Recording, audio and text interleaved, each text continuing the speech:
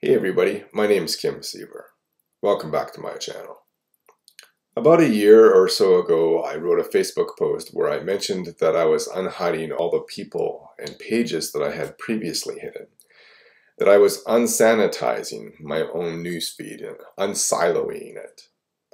I've been contemplating that position recently, I'm still doing this, trying to expose myself to different viewpoints and trying to not dismiss viewpoints contrary to my own.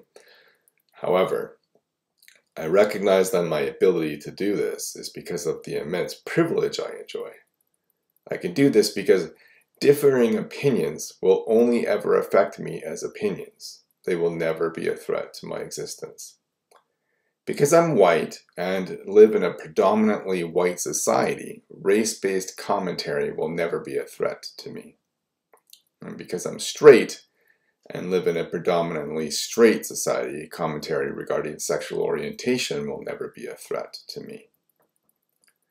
Because I'm cisgender and live in a predominantly cis society, gender-based commentary will never be a threat to me. Because I'm male and live in a society designed for males, sex-based commentary will never be a threat to me.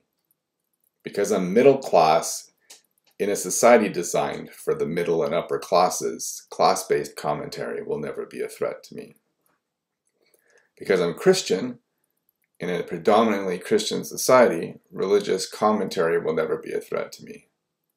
And because none of this will threaten my existence, I can afford to not turn my Facebook feed into a silo. Not everyone has that privilege. Commentary that affects me only as disagreement can affect others as a direct threat to their existence. Or I might get frustrated with someone arguing with me, others might get anxious, worried, or scared.